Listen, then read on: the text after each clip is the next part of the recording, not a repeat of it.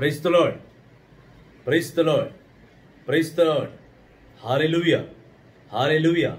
praise the Lord praise the Lord good evening everybody welcome to the voice of Christ క్రిస్తుని అపారమైన ఆయన సన్నిధికి ఆయన పరిశుద్ధ దివ్యగల ఆయన వాక్కుకు మీ ప్రతి హృదయము ప్రభునిలో ఆహ్వానితము దైవ జనమా క్రిస్తుని సంగమా యేసుని అపారమైన ప్రేమను ఆయన కృపను ఎరుగుతున్న బిడ్డలారా ఆయన ఎందు విశ్వసించు జీవిస్తున్న ఓ నా విశ్వాసి వాక్కు లేనిదే ప్రభునిలో మనం ఎదగలేము. ఇదే నిన్నటి అంశంలో మనం మాట్లాడుకున్నాం. ప్రతి దినము ప్రతి వీడియో మెసేజ్ ద్వారా ప్రతి ఒక్క హృదయాన్ని బలపరుచున్న సంగతి ఏమనగా దైవ వాక్కుతోనే మానవుడు బ్రతకగలడు. దైవ వాక్కు చేతనే ప్రతి ఒక్క మానవాడి ప్రభుల్లో ఫలింపగలరు. ప్రభు వాక్కు లేనిదే ఏ జీవితమును విశ్వాసరహిత గల జీవితముగా ఉండదు. కావున ప్రభు వాక్కును గౌరవిస్తూ ప్రభు వాక్కును అనుసరిస్తూ ఆయన వాక్కులో నిత్యము నిరంతరం జీవిస్తూ ప్రార్థన ద్వారా ఈరోజు అంశంలోకి మనం ప్రభులో నడిపింపబడదాం. కావున చేతులు జోడించి కన్ను మూసుకొని ప్రార్థించుదాము సర్వశక్తి గల పితైన సర్వేశ్వర కృపకు దేవ నా ఆత్మీయ తండ్రి ఆలోచనకర్త ఆదియం నీవే అంతము నీవే. నా జీవము నీవే నా మరణము నీవే. తండ్రి నీ కృప లేనిదే మానవుడు జీవించలేరు నాయన. నీ అనుగ్రహము లేనిదే మానవుడు ఊపిరి పోసుకోలేడు తండ్రి. నీ యొక్క పరిశుద్ధ దీవెన లేనిదే ఏ కుటుంబం కూడా సమాధాన కుటుంబంగా ఉండదు నాయన. అవును ప్రభువా ఈ లోకంలో మానవాళి జీవించడానికి ఈ విపత్తుల నుండి ఈ యొక్క కరోనా వైరస్ లాంటి అనారోగ్యముల నుండి నీ ఆగ్రహం నుండి మేము తప్పించుకోవాలంటే నీ కరుణ నీ అనుగ్రహము నీ దీవెన మాకెంతో అవసరం నాయన. మహిమగల తండ్రి మా మంచి చేసేయా ప్రతి ఒక్క అనారోగ్య బిడ్డను ప్రత్యేకంగా చూడుము తండ్రి. వాళ్ళ పాపాలన్నీ కూడా క్షమించండి నాయన.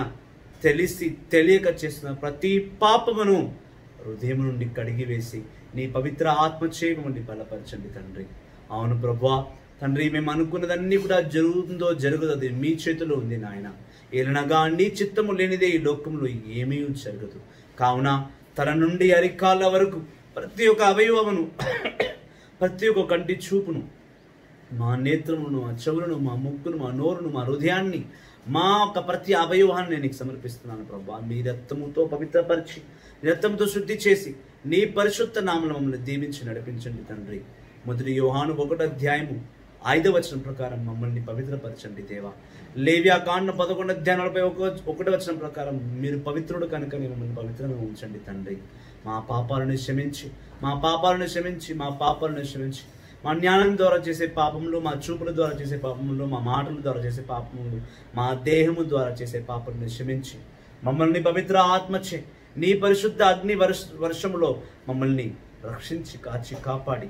మీ కృపా అనుగ్రహములు ఎల్లప్పుడూ మాతో ఉండి మమ్మల్ని మీ సన్నిధి నుంచి గంటి వేయకుండగా మా వైపు మీ ఆగ్రహంను చూపించకుండా కేవలం మీ దేవుని చూపించమని నీ పరిశుద్ధ పాదాలను పట్టుకుని ప్రార్థిస్తున్నాము తండ్రి. ఆమెన్. ఆమెన్. ఆమెన్. పరలోకమందున్న మా యొక్క తండ్రి మీ నామం పూజింపబడునుగాక మీ రాజ్యం వచ్చునుగాక మీ చిత్తం పరలోకమందు నెరవేరినట్టు భూలోకమందు నెరవేరునుగాక. నా నాటికి కావలసిన అన్నము మాకు నేటికి ఇవ్వండి. మా అపబడిన వారిని మేము మన్నించినట్టు మీరును మన్నించండి. శోధని ప్రవేశింపక కీడును రక్షించండి. ఆమె praise the Lord praise the Lord Lord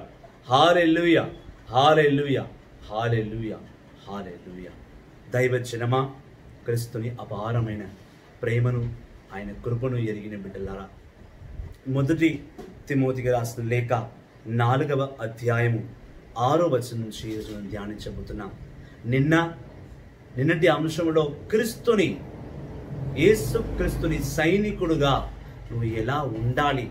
ఆయన కొరకై పోరాడుతున్న బిడ్డలు ఏ విధముగా జీవించాలో మనం నేర్చుకున్నాం.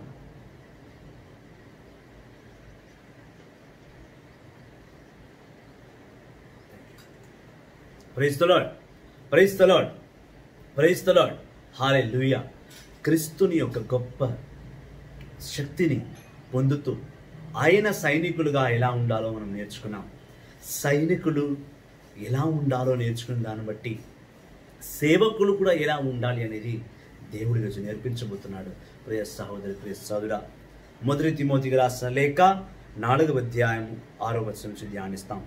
Reading from first సిమో first Timothy chapter four verse six onwards if you give this instructions to the brothers, you will be a good servant of Christ Jesus, as you feed yourself spiritually on the words of faith and of the true teachings which you have followed. But keep away from those godless legends which are not worth telling. Keep yourself in training for a godly life. Physical exercise has some value, but spiritual exercise is valuable in every way because it is promise a life both for the present and for the future. That is true saying to be completely accepted and believed. We struggle and work hard because we have placed our hope in the living God, who is the Savior of all and especially of those who believe. Give them these instructions and these teachings. Do not let anyone look down on you because you are young, but be an example for the believers in your speech, in your conduct, your love, faith, and purity. Until I come, give your time and effort to the public reading of the scriptures and to preaching and teaching. Do not neglect the spiritual gift that is in you. Do not neglect the spiritual gift that is in you.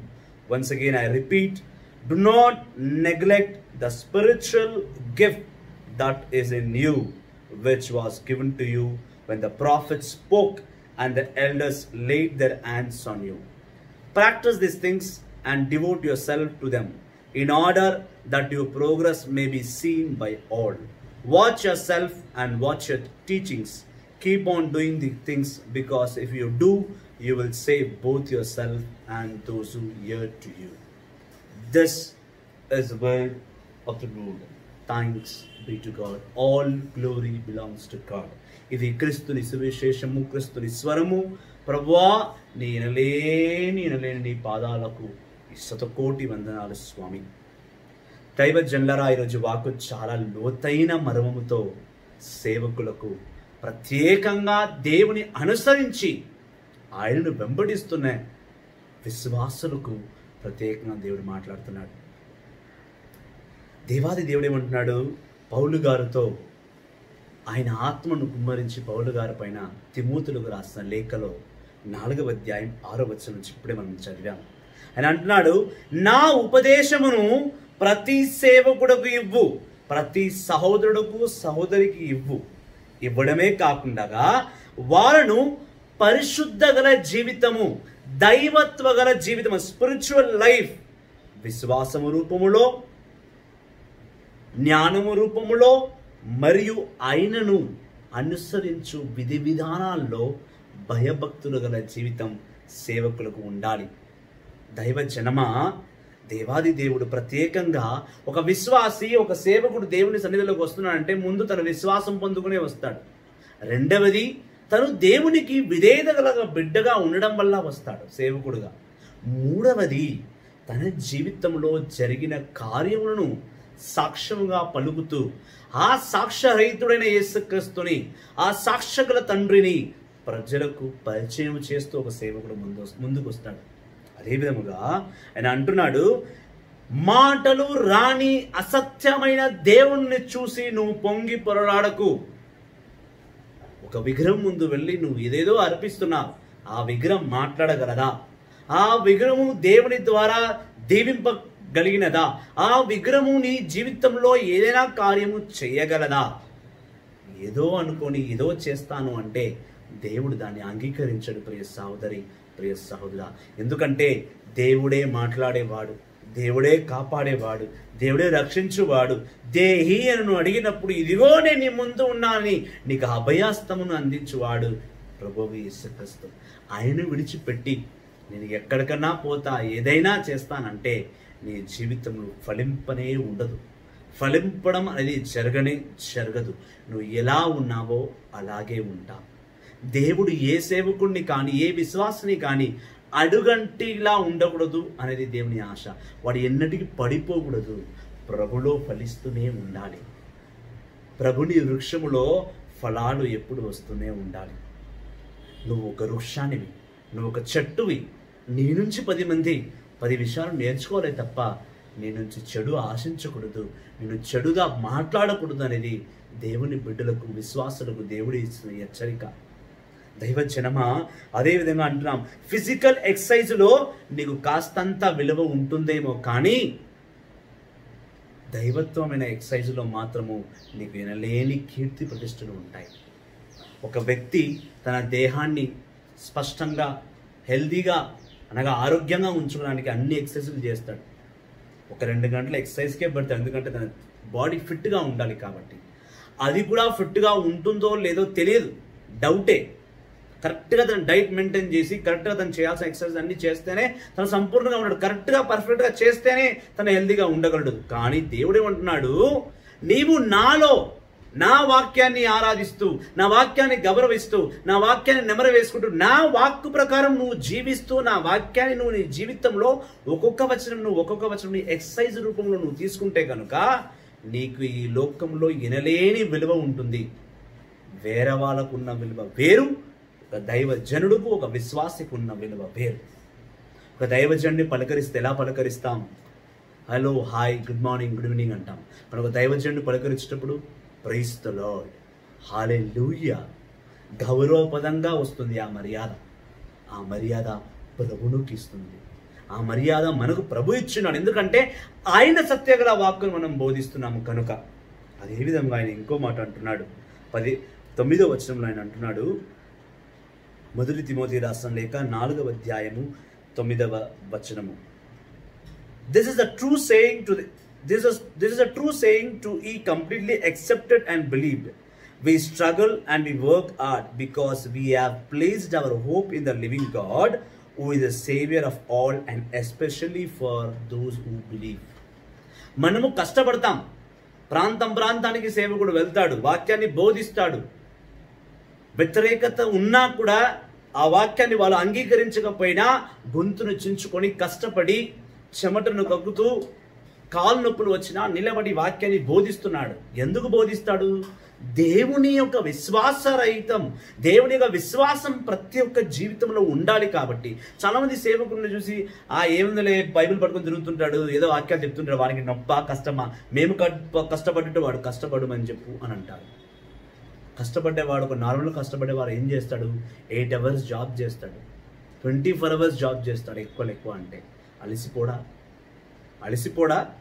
అలసిపోతాడు. వాడికి విశ్రాంతి కావాలి కానీ సేవకులు గల కాదు. ఎవరు phone చేసినా వెళ్ళాలి. ఎంత అర్ధరాత్రుల్లో ప్రార్థన చేయమని చేసినా నిద్ర మానుకొని లేచి ప్రార్థన చేయాలి. ఏ ప్రాంతంలో వర్షం పడుతుంది ఎండ కొడుతుంది చలి పెడుతుంది అని కుదరదు. ఏ ప్రాంతాన్ని ప్రభు పంపిస్తే ఆ ప్రాంతానికి వెళ్ళాలి. సర్వసాధారణమైన వ్యక్తులు జాబ్ చేస్తారు హార్డ్ వర్క్ చేస్తారు కష్టపడతారు. ఎలా? ఒక బండను ముక్కలు చేస్తారు ఎనిమిది గంటల్లో. మేము బండ లాంటి హృదయాలను మార్చాలి. మాకు సంవత్సరాల టైం పడుతుంది. ప్రభుని ఒక విషయాలను ప్రభుల ఒక సంగతును వాక్యం ఒక మర్మలను చెప్పి బండలాంటి హృదయాన్ని కరిగించి ఆ ఒక వ్యక్తి తర్వాత యావత్ కుటుంబాన్ని విశ్వాసగల బిడ్డలుగా మార్చాలి. అంత సులభం కాదు. బండ విరగొట్టేంత సులభం కాదు. బండలాంటి హృదయం విరగొట్టడం. అంతకైనా కష్టమైన పని. సేవకులు చూడడానికి చాలా సున్నితంగా కనబడతారు. కానీ వాళ్ళు మాట్లాడే మాటలు వారు ఆలోచించిన ఆలోచన వాళ్ళు చేస్తున్న దేవునికి చేసిన చేస్తున్న ఉపవాస ప్రార్థనలు వాళ్ళ దేవుని పట్ల పెడుతున్న దాగము సర్వసాధారణమైన వ్యక్తి కన్నా సేవకుడు ఇంకా ఎక్కువ కష్టపడుతున్నాడు లోకానికి. నువ్వు కష్టపడుతుంది కుటుంబానికి మాత్రమే. నువ్వు కష్టపడుతుంది నీ సంఘానికి మా- నీ యొక్క కుటుంబ శ్రే- శ్రేయస్సు గురించే. కానీ ఒక సేవకుడు కష్టపడేది ఒక సంఘం గురించి ఒక ప్రపంచం గురించి ఒక ప్రాంతము గురించి ఒక దేశము గురించి కష్టపడతాడు. సేవకుడు అంటే అంత సులభమైన వాడు కాదు. సేవకుడు అంటే అంత చీప్ మెంటాలిటీ చూసేవాడు కాదండి. పరలోకంలో ఉన్న దేవదూతలకు పని చెప్పే విధంగా వాడి ప్రార్థన ఉంటుంది. పరలోకంలో యువా తండ్రి దగ్గరికి వెళ్ళి నీ పాపాల గురించి వాడు మొరబెట్టుకొని ప్రభువా వాడిని క్షమించు. వాడికి జీవితం వద్దంట. నీ కలిగిన జీవితం నువ్వు ఇవ్వమన్నాడు. పరలోకం కొరకై పనిచేస్తున్నవాడు ఒక సేవకుడు పరలోకం కొరకై భూలోకం కొరకై రెండు లోకాల గురించి పనిచేస్తున్నాడు. ఇంకా ఎక్కువ అయితే పాతాల లోకంలో ఉన్న దయ్యాలను పట్టుకొని పీడిస్తుంటే ఆ దయ్యాలను కూడా తరిమి వేసేసి వాళ్ళని వా నరక లోకంలోకి పడేసే శక్తి కూడా ఒక దైవజనుడికి ఉంటుంది. మూడు లోకాలతో సావాసం చేస్తున్నవాడు. పాదల్ పాతాల లోకాన్ని కాల కింద నడగదొరుకుతూ పరలోకాన్ని మెప్పిస్తూ భూలోకంలో ఉన్న వారు భూలోకంలో ఉన్న బండలాంటి హృదయాన్ని మారుస్తూ మూడు లోకాలకు ప్రభుని కొరకే పనిచేసేవాడు ఒక సేవకుడు. అంత సులువైన వ్యక్తి కాదు. అంత సులువైన వ్యక్తి కాదు. అందుకే దైవజనుడు అంటున్నాడు దేవుని సన్నిధిలో ఆయన కొరకే పనిచేసేవారు ధన్యులు ధన్యులు ధన్యులు. దేవుడి గురించి పని చేస్తారా? ఎవరైనా నమ్మంటే దేవుడు కనబడతాడు ఎందుకు నమ్మాలా అంటారు? ఒక సేవకుడు నమ్మి వాళ్ళు నడిపిస్తున్నాడు. అది వాడి గొప్పతనం కాదు వాడిలో ఉన్న ప్రభుని గొప్పతనం. ప్రభు కొరకై పనిచేయవాడు ప్రభుని యొక్క ఆశలను భూలోకంలో నెరవేర్చువాడు. ప్రైస్తలాడ్ ప్రైస్తలాడ్ హాలే అందుకే మనం పది పదకొండవ వచనంలో మళ్ళీ పదకొండవ వచనంలో చూస్తున్నాం. Give them these instructions and these teachings do not let anyone look down on you because you are young but be an example for the believers in your speech in your conduct your love faith and purity.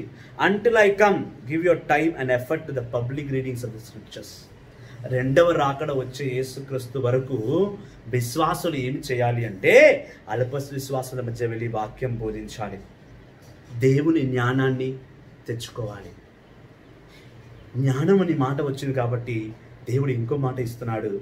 మొదటి కొరింత రాసిన లేఖ మూడవ అధ్యాయము పంతొమ్మిదవ వచనం. మొదటి కొరింతకు రాసిన లేఖ first Corinthians chapter three verses nineteen దేవుడు for what the world considers to be wisdom is nonsense in in God sight and scripture says, God God traps the wise in cleverness. Cleverness దేవుడు ఏమంటున్నాడు? ఈ లోక సంబంధమైన జ్ఞానము అతి గొప్పది అనుకుంటున్నావు. ఈ లోక సంబంధమైన జ్ఞానం నీకు అవసరమే. చదువుకోవాలి ఎడ్యుకేషన్ చాలా అవసరం. కానీ ఆ కంప్లీట్ ఎడ్యుకేషనే నా జీవితం అని అంటే మాత్రం దేవుడు ఒప్పుకోడు. ఎందుకు ఒప్పుకోడంటే ఈ లోకంలో ఉన్నంత వరకే ఆ జ్ఞానం నీతో పనిచేస్తుంది. నువ్వు చదువుకున్న డిగ్రీ నువ్వు చదువుకున్న అన్ని పట్టాలు అన్ని డాక్టరేట్స్ కూడా నువ్వు ఈ లోకంలో ఉన్నంత వరకే. ఆ జ్ఞానమే గొప్పది దైవ జ్ఞానము తక్కువ నువ్వు అంటే కనుక నీ అంత మూర్ఖుడు ఇంకోటి ఎవడు లేడు. అదే అంటుంది మొదటి కొరితో రాసిన లేక మూడు అధ్యాయం పంతొమ్మిది వచ్చిన ఏమంటుందంటే ఈ లోక జ్ఞానము అవసరము కానీ అత్యవసరము కాదు. ఈ లోక జ్ఞానమే సమస్తము సర్వము నాకు అదే అవసరం నువ్వు అనుకుంటే కనుక నీ అంత పిచ్చివాడు ఎవడు లేడు. దేవుడు దాన్ని అంగీకరించడు. ఇట్స్ నాన్ సెన్స్ అంటున్నాడు ఆయన. ఈ లోక సంబంధం పట్టబడిన అన్ని జ్ఞానములు ప్రభు జ్ఞానంతో పోల్చుకుంటే ఇది నాన్ సెన్స్ ఇది నాన్ సెన్స్ అది సెన్స్ దేవుని జ్ఞానమే సెన్స్ ఈ లోక జ్ఞానం నాన్ సెన్స్ ఎందుకంటే ఏదో ఒక చోట ఈ ఉద్యోగం నువ్వు సంపాదించుకుంటావు బాగా చదివి. ఎంతవరకు కష్టపడతావు? నీకంటే ఒక రిటైర్ రిటైర్మెంట్ ఏజ్ ఉంటుంది. ఆ రిటైర్మెంట్ ఏజ్ అయిన తర్వాత ఏం చేస్తావు? ఏం చేస్తావు? ఏం లేదు ఇంట్లో కూర్చోవాలి వచ్చే పెన్షన్ తిని కూడా కూర్చోవాలి అప్పుడు ఏం జ్ఞానం కావాలి నీకు?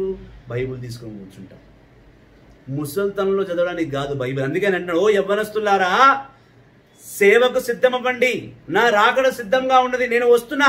నేను వచ్చే ఈ టైంలో కూడా టైం వేస్ట్ చేయకుండగా time waste చేయకుండగా until I come give your time effort to the public readings or the scriptures and to be preaching and teaching do not neglect the spiritual gift that is in you దేవుడు ప్రతి ఒక్క క్రైస్తవుడులో ప్రతి ఒక్క విశ్వాసిలో ఆయన దైవగల దీవెన ఒకటి పెట్టి ఉన్నాడు gift పెట్టి ఉన్నాడు.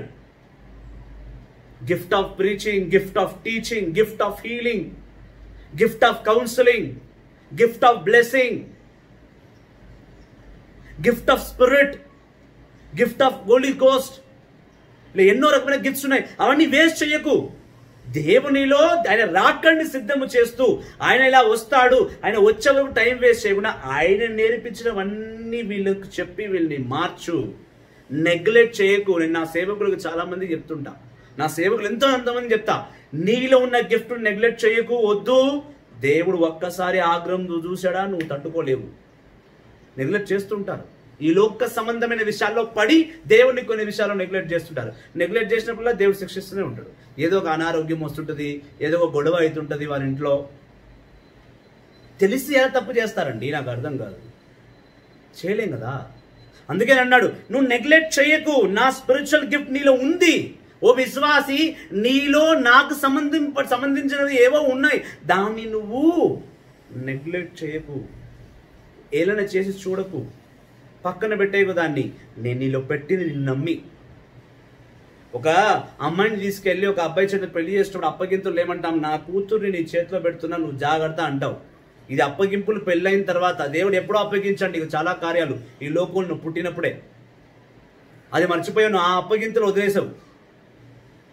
నువ్వు ప్రియ సోదరి ప్రియ సోదర సేవకులారా దేవుని సన్నిధిని నెగ్లెక్ట్ చేయడానికి వీళ్ళదు దేవుని గిఫ్ట్ని నెగ్లెక్ట్ చేయకూడదు. అందుకే నేను అంటున్నాడు which was given to you when the prophet spoke and the elders laid their hands on you. నీ సీనియర్ పాస్టర్స్ కానీ నీ ప్రీస్ట్ కానీ నీ తలపైన చేయిని పెట్టి నీకు అభిషేకించాడు. ఎందుకు అభిషేకించాడు? వాడికి వాడికి అభిషేకించాలని ఉండింది ఆశ కాబట్టి అభిషేకించాడా? కాదు కాదు కాదు. నీ సంఘంలో నీ నీ బోధకుడు నీ ప్రవక్త నీ సేవకుడు నీ ప్రీస్ట్ నీ తల మీద చేపెట్టి నూనెను పోసి అభిషేకించి నువ్వు సేవకుడు అని ఎందుకు చెప్పాడు? టైం పాస్ చేయడానికి చెప్పలా? దేవుడు చెప్తే చెప్పాడు. అందుకే మనం చూస్తున్నాము మతైసు వార్త పదారాధ్యాయం ముప్పై పదారాధ్యాయం పదమూడు నుంచి ఇరవై వచ్చిన వరకు పేతుర్ని దేవుడు ఎన్నుకున్నాడు. నేను నీ మీద ఆలయాన్ని కట్టబోతున్నాను అన్నాడు. పేతుర్ని దేవుడు అన్నాడు Matthew's gospel chapter sixteen verse seventeen onwards. Good for you Simon son of John answer Jesus. For this truth did not come to you from any human being but it was given to you directly by my Father. దేవుడు పేతురుని ఎన్నుకున్నప్పుడు ఏసుక్రీస్తు కాదు ఎన్నుకో ఎన్నుకునేది ఏసుక్రీస్తు అదే అన్నాడు పేతురు నేను నిన్ను ఎన్నుకోలేదు. నేను కాదు నేను ఎన్నుకునేది డైరెక్ట్గా నా తండ్రియే నేను ఎన్నుకున్నాడు. And so I tell you Peter you are rock and on this rock foundation I will build my church పేతురు నువ్వు ఒక పెద్ద రాయివి. కదిలింపబడలేని ఒక గొప్ప రాయివి. నీ మీద నా ఆలయాన్ని కడతాను. నువ్వే నా ఆలయాన్ని అన్నాడు. అందుకే మన కథోలిక సంఘంలో పేతురు గారే ఫస్ట్ పోప్. పేతురు గారు ఫస్ట్ పోప్. ఇప్పటి వరకు రెండు వందల అరవై ఆరు పోపులు రెండు వందల అరవై ఆరు పోపులు మన దేశంలో మన భారతదేశంలో మన సారీ మన ప్రపంచానికి ఉన్న popes. Two hundred sixty six popes still ordained పేతురు గారి నుంచి లెక్క పెట్టుకుంటే రెండు వందల అరవై ఆరు పోపులు మనల్ని సంఘంలో విశ్వాసంలో నడిపించారు. దేవుడు అంటున్నాడు ఓ నా సంఘస్థుడా ఓ నా విశ్వాసి నేను నీ మీద ఆలయాన్ని కడుతున్నాను. దాన్ని ఎవడు కదిలింపలేడు దాన్ని ఎవడు కూల్చలేడు దాన్ని ఎవడు పలగొట్టలేడు నేను పలగొడితేనే పగిలిపోతుంది అప్పటివరకు పగలదు. దైవ జనమ అదేవిధంగా అన్నాడు ఒక్క దైవ జనుడు నీ నెత్తి మీద చేయబడిని అభిషేకించాడు అంటే అది అతను కాదు అభిషేకించింది. దైవ కుమారుడు అభిషేకించాడు. తన తండ్రిని యహోవా అభిషేకించాడు. ఆ ఆ ప్రభు ఒక ఎంపికను ఆ యేసుకృష్ణ అభిషేకాన్ని నువ్వు అవమానపరుస్తే అది నీకే పాపం అది ఎవరికి కాదు. Practice these things and devote yourself to them in order that you progress may seen by all practice చేయి. ప్రాక్టీస్ అంటే ప్రతి వచనం ప్రతి వాక్కును హత్తుకో. ప్రతి వచనం ప్రతి వాక్కు నీకై నువ్వు భావించు. ఎందుకంటే నీ గురించే రాయబడినది. అలా చదువుతూ చదువుతూ చదువుతూ సంపూర్ణ జ్ఞానంను తీసుకొచ్చుకుంటావు. ఎప్పుడైతే సంపూర్ణ జ్ఞానం నీకు వస్తుందో పరలోక అభిషేకం ద్వారా నువ్వు నడిపింపబడతావు.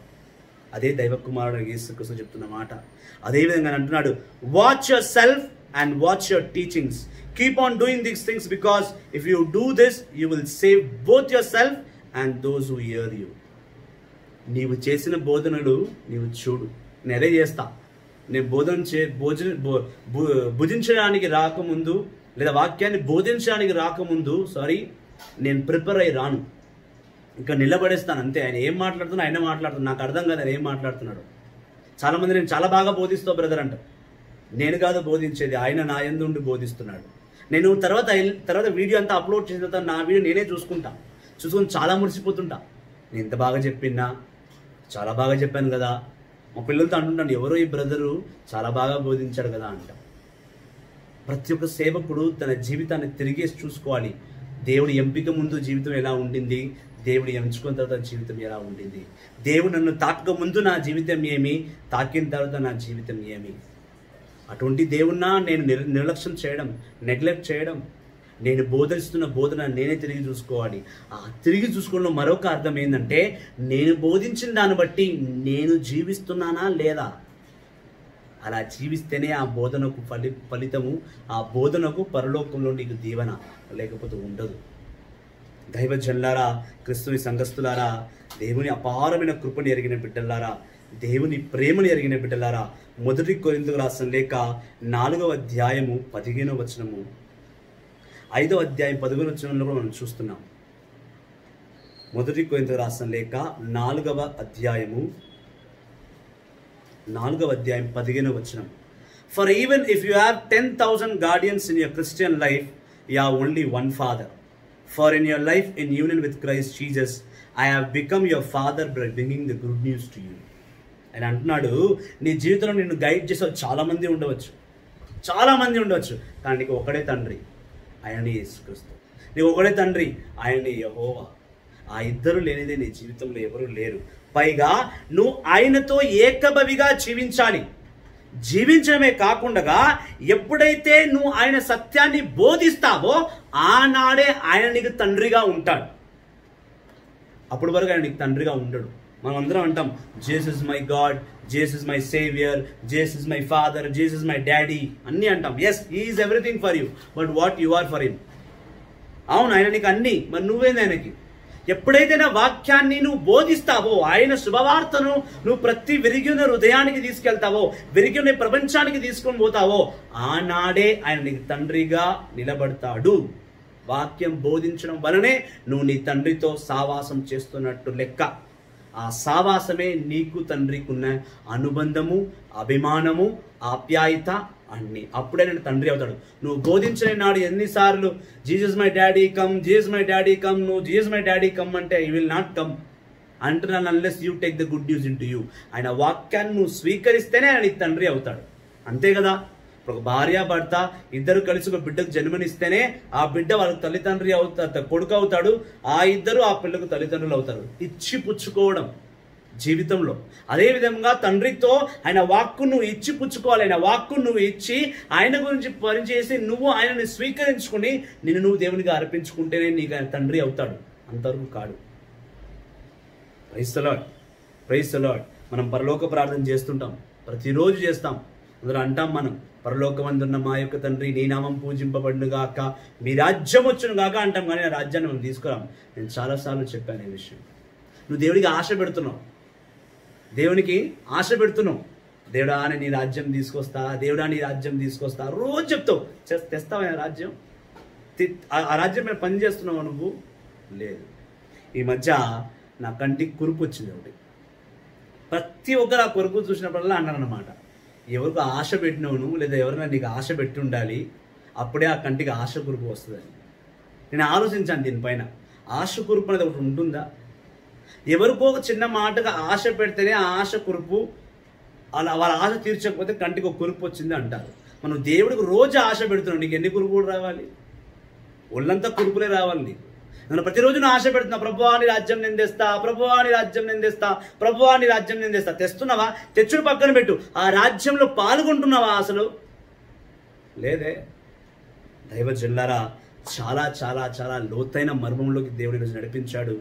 నేను చాలా సంతోషపడుతున్నాను ఈరోజు. కానీ ఒకటి గుర్తుపెట్టుకోండి. ఈ లోతైన మర్మము నీ జీవితంలో కూడా ఫలించాలి. ఈ లోతైన మర్మము నీ జీవితంలో నేను ఎదిగించాలి. ప్రభునిలో రక్షణ వైపు నడిపించబడాలి. అదే క్రైస్తవ జీవితం. రక్షణ లేకపోతే నువ్వు క్రైస్తవుడి కాదు జీవితం జీవితమే కాదు. కావున దైవ వాక్కును అనుసరించి పట్టుకో.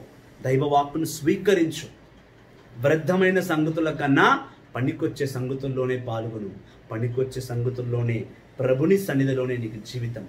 ఆయన తప్ప నీకు ఈ లోకంలో ఎవరు సరికారు. ఆయన నీ లోకంలోకి రావాలి అంటే వాక్కు నీ లోకంలో నీ జీవితంలో నీ లోకంలో ఉండాలి. వాక్కు లేనిదే ఆయన నీకు రాడు నీతో ఉండడు నీతో సావాసం చేయడు. కావున వాక్యాన్ని అనుదినము అనుసరించి పట్టుకోండి వాక్యాన్ని చదవండి వాక్యాన్ని బోధించండి వాక్కు ప్రకారం నీ జీవితాన్ని సరిచేసుకుంటూ వెళ్ళండి. దేవుడే సమస్తము సర్వమై నీకు ఉంటాడు praise Lord thank you very much God bless you all వాక్యాన్ని షేర్ చేయండి. వాక్యాన్ని షేర్ చేయడం కూడా ఒక సేవనే. ఆయన రాజ్యంలో నువ్వు పాల్గొంటున్నావు. ఎందుకంటే నువ్వు బోధించకపోవచ్చు కానీ బోధించిన వాడి వాక్యాన్ని వేరే హృదయానికి తీసుకెళ్తున్నావు కదా. సో అది కూడా సేవనే. వాక్యాన్ని షేర్ చేయండి. ప్రభుని సన్నిధిలో నిత్యం నిరంతరము ఆయన వాక్ ప్రకారం జీవించండి. Praise Lord thank you very much God bless you all ప్రైస్తలా hallelujah